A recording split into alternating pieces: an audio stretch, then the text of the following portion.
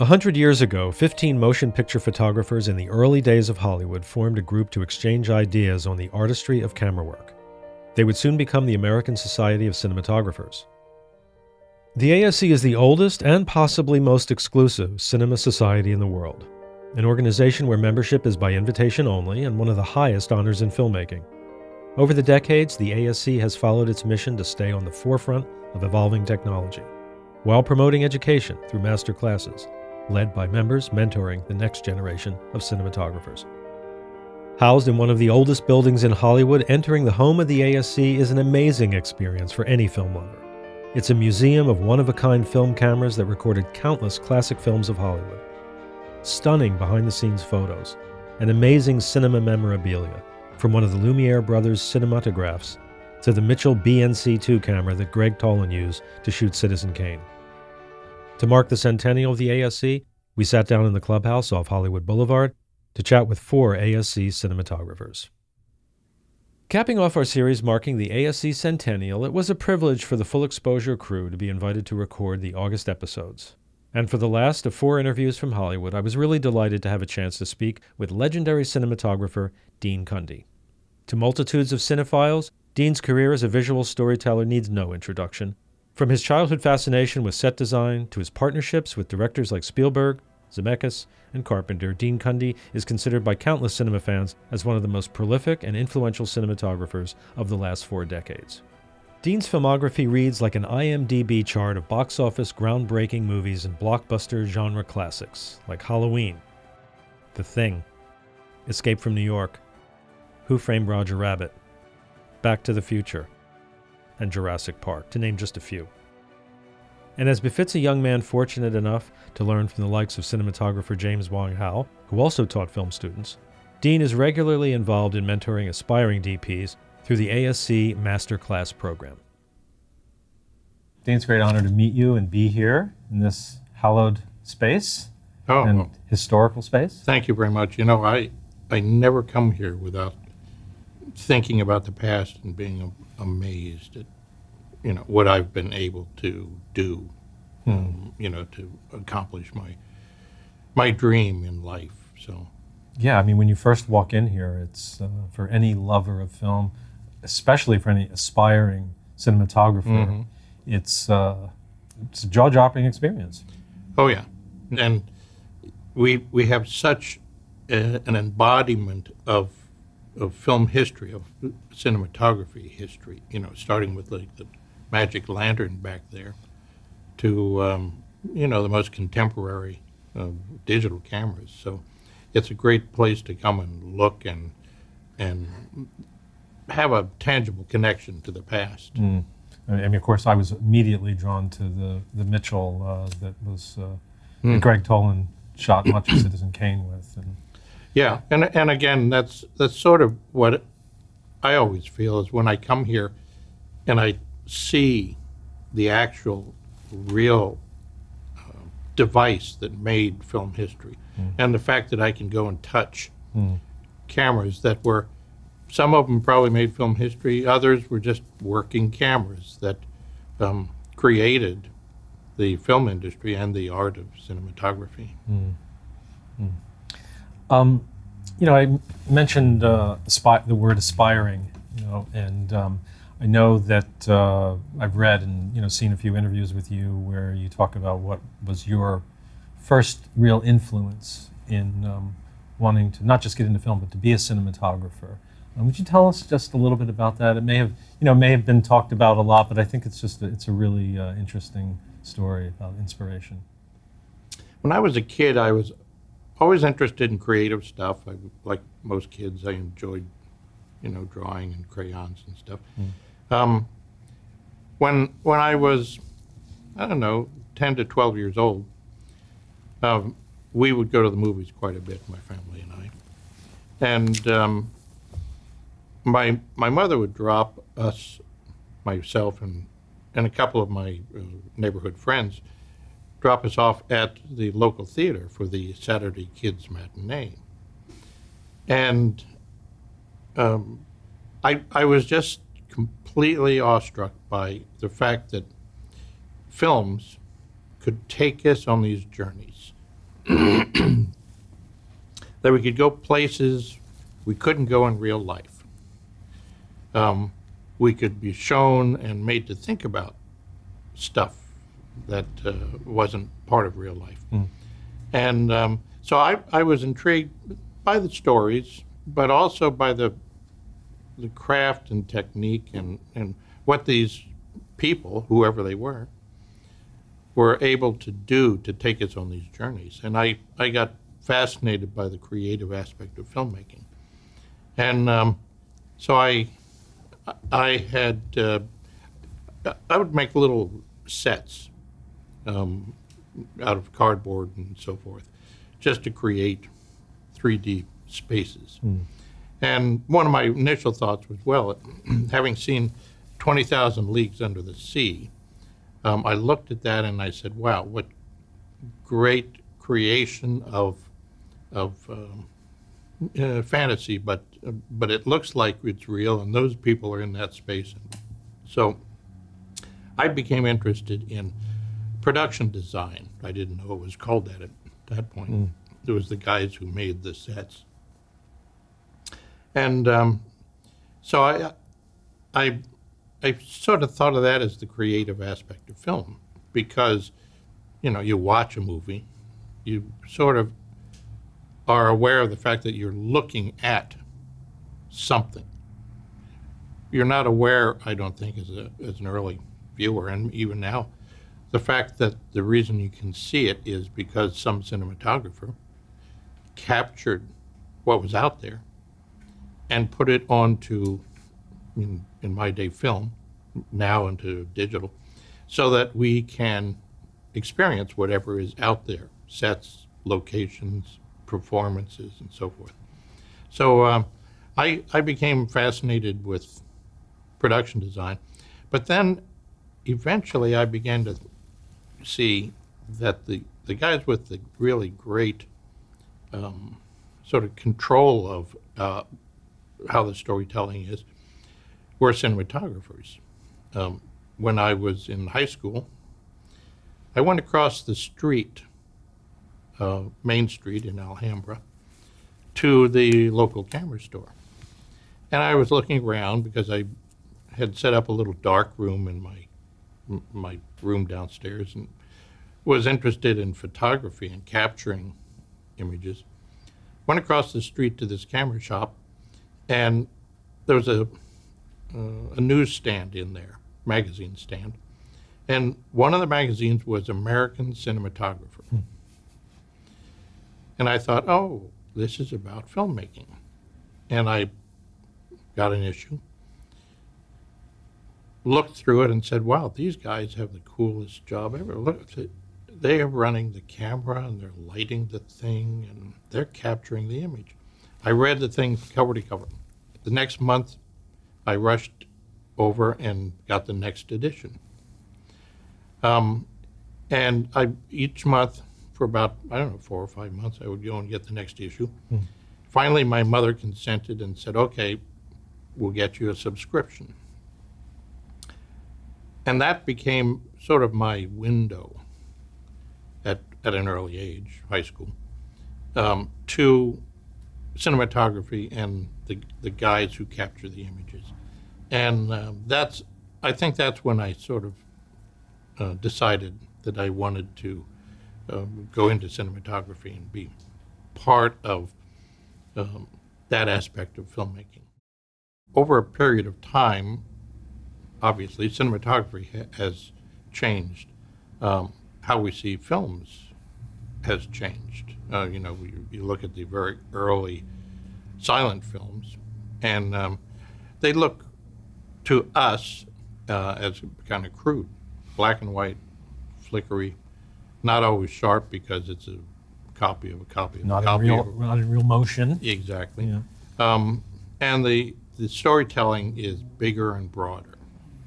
Um, and I think that's because ear early filmmaking came from the concept of photographing theater. And performances for, for theater, especially in those days, were very big and broad. Um, makeup was, um, you know, Theatrical. very, very stylized. So, um, but over a period of time, we've we've come to accept a very more natural view of the world around us. Um, sometimes not natural because it's science fictiony or superheroes or whatever, but um, it somehow seems more real to us. Well, then here comes digital, and here comes uh, the computer, and it now gives us almost um, unfettered uh, control of the image. We can do almost anything we want. In fact, we could probably do anything we want. Um, and so I, I, think that over a period of time, the audience's view of the stories, the view that the cinematographer provided, um, has gotten a lot more complex. And very often, um, it involves a lot more people. You know, yes, there are simple dramas, um, simple romantic comedies, um, which essentially are photographing actors' characters um, going through a story. But then there's the other end of it, which are these gigantic, epic action films and, and superhero films and so forth, which take us into a world that is essentially completely impossible, as we know it anyway now, um, with the ability for characters to fly and buildings to be destroyed by a guy's punch and you know things like that. So um, our our credibility um, is being challenged. But in order to do that, it takes an awful lot of people. It takes visual effects people and um, production designers and special effects people, mechanical effects, and and cinematographers, and, and you know just uh, a, a lot of different skills and artists. So I, I think that uh, no one person now um, really sort of controls the storytelling for those kinds of films. Even the director, who in theory is the mastermind of that, um, in practicality, if you watch the process of a big action film or whatever being made, mm. you realize that the director is the guiding force. But very often, uh, people who are in visual effects or, or whatever, uh, even writers, um, do what, what I call going into business for themselves. They, um, they create the images or the techniques or the, or the uh, effects or whatever, kind of the way they would like to do it. And then they present it, and very often the director or producer will say, "Oh yeah, yeah, that's that's good. That's even better than I thought it would mm. be." Hmm. So um, it's becoming more of a community effort. And the trick is to keep that community focused on, um, I think, what is essential. We, we, we as, as cinematographers, we've always been uh, focused, no pun intended. Okay, maybe. um, we've always been focused on um, capturing an image that an audience will understand and believe. And, you know, especially in the 30s and 40s when that was sort of the limits of what you could do human stories, mm-hmm. comedies, um, thrillers, and so forth. Um, over a period of time, the, um, the cinematographer who was so much a part of and was the right or left hand of the director um, has become one of the contributors. And, and I, I hate to see some of that, the skill and artistry of the cinematographer um, disappear, uh, be overridden, um, which is possible because, um, you know, for, for many years, we as cinematographers were in charge of the science. And there's a tremendous amount of science in cinematography. Um, lenses and depth of field and how many lumens come out of a 2K light and what's the exposure contrast ratio and on and on and on. And that was sort of um, what we contributed to the process. Handling all of that science, but very importantly, with an understanding of the artistry, of the visual storytelling, and how to accomplish what a director and what a writer and what performers and the and the production designer wanted to uh, have end up on the on the film. Um, we were responsible for capturing it and adding our own sensibilities, our own artistry, uh, our own skills to the process so that we could, um, you know, that, for instance, it's very much about composition of a shot that tells an audience where they're supposed to look when. The lighting of the shot creates the mood. Um, will also tell the audience where to look. So, as cinematographers, we have always had to understand that. How do we, you know, touch an audience? How do we, you know, tell a story so that their their brain and their heart, um, you know, embrace it? So I I think that uh, I I'm leery of um, of it, um, you know, becoming too fragmented. Um, you know, the, the fact that I would take an image and say that's the perfect one, and then have someone say, you know what I think would be better, and change it. Now, if it's better, fine. But if it just happens to be someone exerting control or whatever um, for their own satisfaction, gratification, um, then I think it's an unfortunate thing. We should all all be working for the movie. We should all be working for the audience. Um, something I've always felt. You know, we don't we shouldn't work for ourselves. We should bring ourselves to a project on behalf of the audience. What's the best way to tell the story? We, as cinematographers, have to learn more science. We have to understand computers and and what the compositing guys are doing and how they're doing it. We have to understand how we supply the right parts, the right pieces, the right images to them mm. so that uh, our contribution is not, you know, just, you know, somebody saying, oh, well, that's okay, but let's, let's wipe out that area. And that area seems too dark to me and maybe the frame should be over here. So let's blow it up a little and move it. You know. And um, I've I've heard these these um, portentous um, predictions that um, what what some of the producers want is the ability to shoot in 8K, a wide shot, and then decide after the fact how to light it, how to compose it, you know, let's we, we need a close up here. Now we'll do the two shot.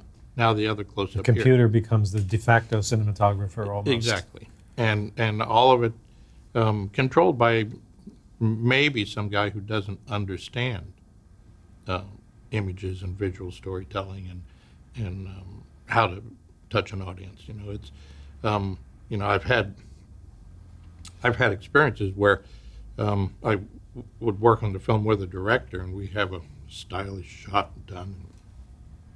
Producer would say, "But where are the close-ups? Where are the close?" Well, we, you don't need it because see how these characters. And no, no, no. We need close-ups. Well, the producer had come out of television, where he had learned that the human face close up is what the audience needs to understand the dialogue and so forth. Not, not true. Um, so when I went to the screening of this particular film, I was amazed to see some close-ups that we hadn't done. Huh. And he had blown up a two-shot, and the close-up was facing the wrong direction, and it was very grainy, and it was, you know, unusual. Well, he had this overriding concept in his mind that you needed close-ups, and he exerted his influence. Mm. And as a result, um, in my humble estimation, degraded the um, the actual work that we had all carefully thought about. So, um, you know, I'm I'm leery that that kind of control will uh, keep, you know, the, the the people who are truly concerned with visual storytelling from um, being able to, you know, uh, perform their skills in artistry. You're very involved in mentorship uh, through the ASC, like so many members are. Um, you had a pretty amazing experience as a as a college student uh, at uh, UCLA. Uh, could you tell us a little bit about that? With uh, who was your uh, teacher and uh, Mm. who influenced you somewhat? Well, in um, at UCLA, I, I got interested in truly being a cinematographer, and uh, there were a couple classes, but they were um, very theoretical. One book we had um, that was cinematography was just purely the science. It was, you know, color science and, and depth of field, and discussed all of this, and there, there was nothing that was really about um, the visual artistry, the visual storytelling. And uh, my last semester, I heard that they were going to have a special cinematography class. And it was going to be taught by James Wong Howe. Well, James Wong Howe, Academy Award winning, um, very uh, important cinematographer. He came up from the silent period.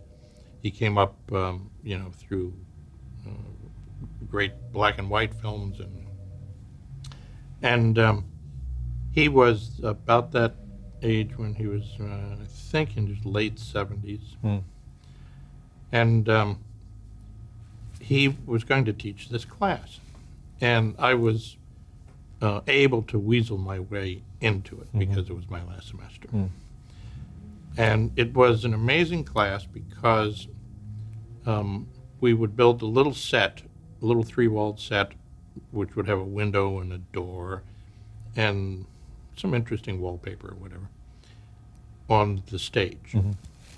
And each, um, I think it was twice a week, Tuesdays and Thursdays, each class, he would show up, he would talk a little bit about some theory, and then he would make us become the crew. And each each time uh, somebody would be designated the operator, camera assistant, and we had an old Mitchell, um, and um, gaffer, electricians, key grip, and each time we would become this crew, and and he would teach us the practical aspects. Um, no, no, no, no, no, don't do that. To uncoil the cable first, then and open the barn doors, then you turn the light on. And uh, oh, oh, okay.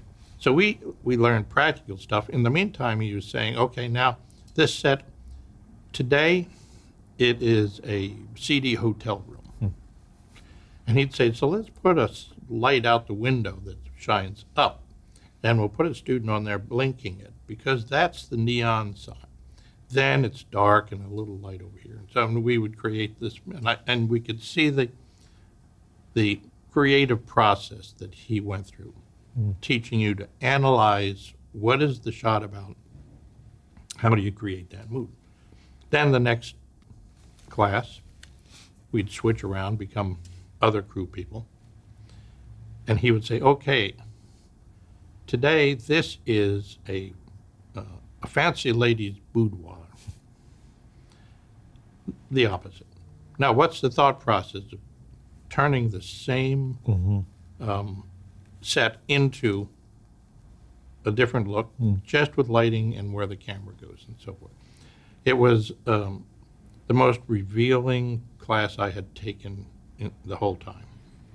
Um, then he would um, uh, also we would go to the theater and he would run dailies from something he was working on. I think The Heart is a Lonely Hunter. Um, and he would run clips out of films. And he would talk about the creative process. And we had practical look at it. It became one of the, the best classes I had ever taken. So revealing, so practical, um, that that's what I've tried to, to do myself.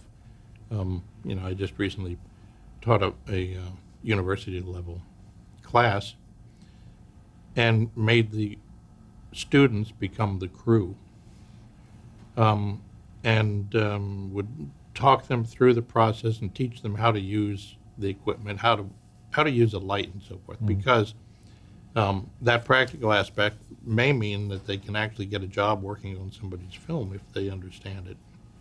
How, what's the protocol? Right. Um, who do you listen to? Who do you make suggestions to?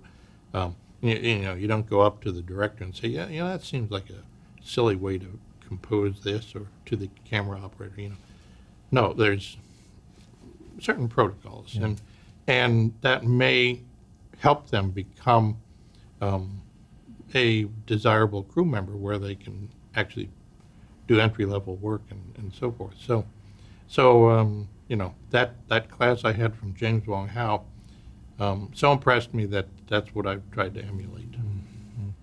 As I talk to students and I teach and and so forth, one of the first things I do is um, I- I ask them about their viewing. What do they watch? And I say, how many here have, have seen um, Casablanca?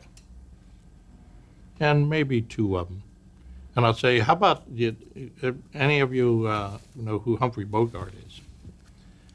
And um, how many have seen a black and white film? and I'm surprised at how few students actually understand the history of, of you know, filmmaking.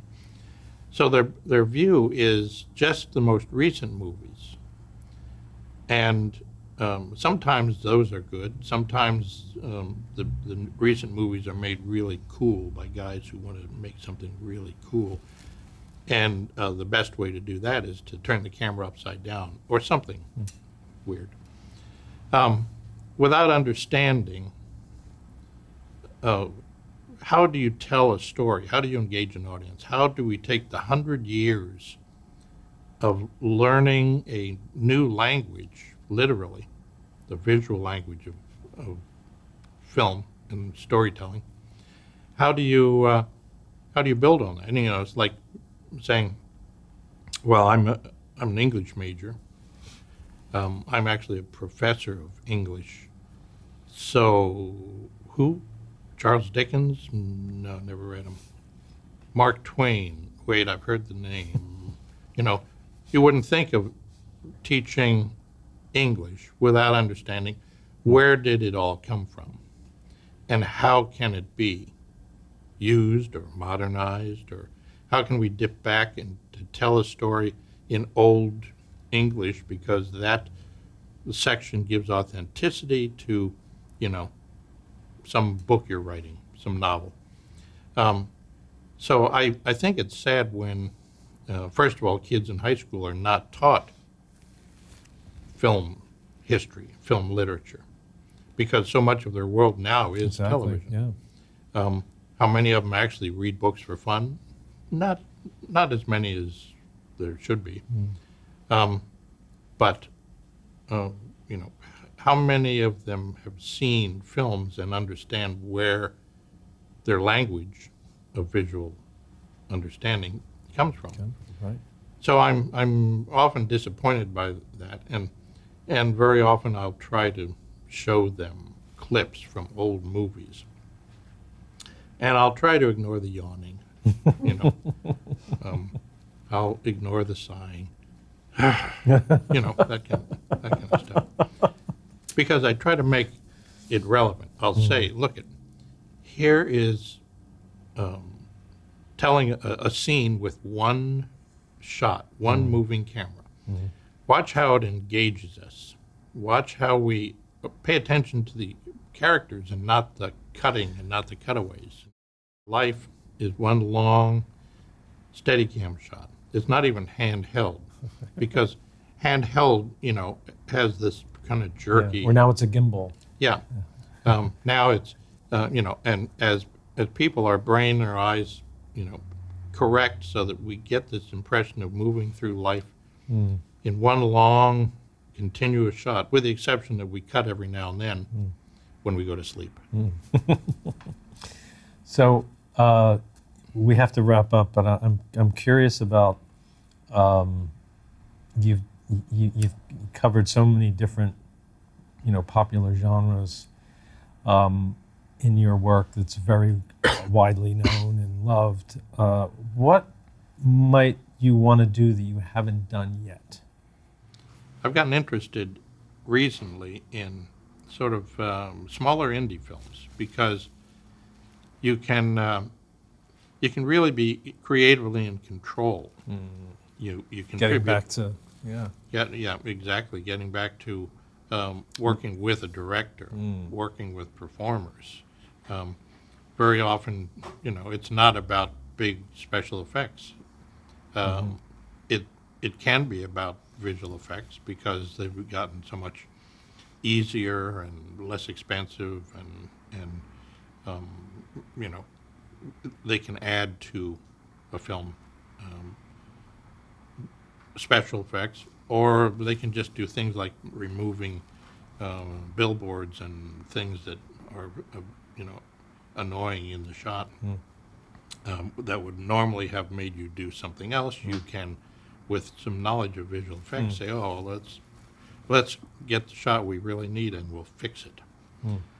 So um, I I like small um, storytelling films that uh, where you can apply, you know, the old um, sort of techniques of visual storytelling. I've seen some uh, some Eastern European films uh, not too long ago, and that's what you see. You you, you don't see effects. You see pure story. Mm-hmm. You know, uh, so that's refreshing. So, um, an indie film in your future?